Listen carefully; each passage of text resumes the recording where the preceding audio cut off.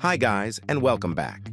Officially released, Kodi 21.0 Omega RC1 may now be downloaded on all compatible devices, including Windows PCs, Macs, Android, iOS, Linux, and Amazon Fire Stick, Fire Stick 4K, and Fire TV Cube.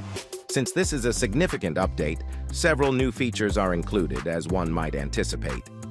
Still, there's a fair probability we'll see some regressions with a fundamental update to FFmpeg 6.0. You ought to, as Kodi 21.0. Omega's first release candidate is almost ready. So guys, let's jump to the download and installation tutorial.